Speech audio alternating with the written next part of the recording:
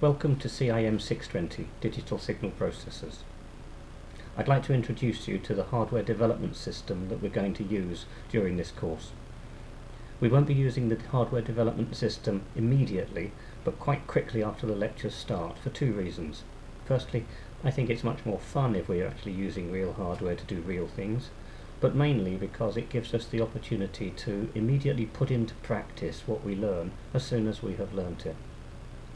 Some of you will already know what a microcontroller is, but I will explain briefly. It's a small system-on-chip device that's low cost. System-on-chip means that it's not just the processor, but also quite a lot of the support circuitry to allow it to interface to the real world and perform a complete application. In our case, we're interested in measuring signals from the outside world and creating new signals to control things or display or give audio information. So we're interested in things like timers, and there are 10 on this device, analog and digital inputs and outputs, methods of controlling motors, and reading switches and setting things like LEDs or output ports in a digital way. We're using the microchip dsPIC because it has a special thing called a DSP engine, and this is a course on DSP processors. The DSP engine in this case has lots of features that are very, very typical of DSP, and so we'll learn a lot about all DSPs by using this particular processor. We'll be using the dsPIC starter kit, which is a very low cost single board, and it has much of the circuitry that's needed to support other applications, that is surrounding the peripherals on the dsPIC. I'll show you that board now. Here is the dsPIC starter kit board. In the centre of it here is the dsPIC processor itself. Now that's a system-on-chip device in the sense that it's surrounded with built-in peripherals, but those peripherals connect to other things. And everything else on this board is designed to support that particular processor. First of all, over here we have the power supply, and here we have a USB interface. The USB interface is going to let us connect a computer to this board, and then download programs to it and debug them in real time on the device. Here is a second microcontroller. That's a simple PIC microcontroller and its only purpose here is to support the USB interfacing for downloading of programs and the debugging. So this section here is really the power supply and debugging section.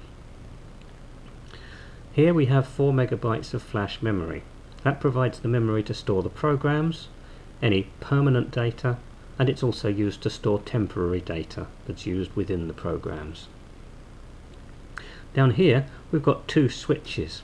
Each of those is attached to a, an input port on the device which is a digital input and it's very easy for us to read those digital inputs to see the state of those switches.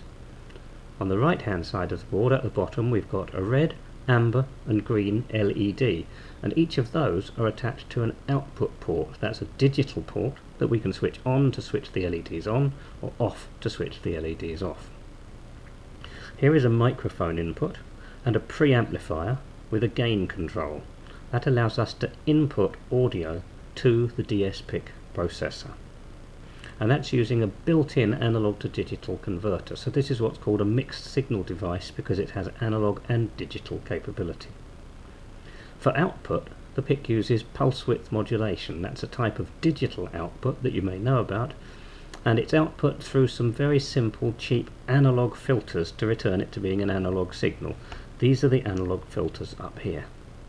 As an alternative to that, we can connect the device to an audio codec, which is an analog to digital converter and a digital to analog converter, which gives us a higher quality of audio, but at the expense of adding an additional chip. And in many applications, we're very concerned not to add cost in that way. And that is followed by an amplifier here, and then the speaker output over here. So in all, you see that we've got a very simple system, centered on the dsPIC device, with everything else being attached to the peripherals on that device.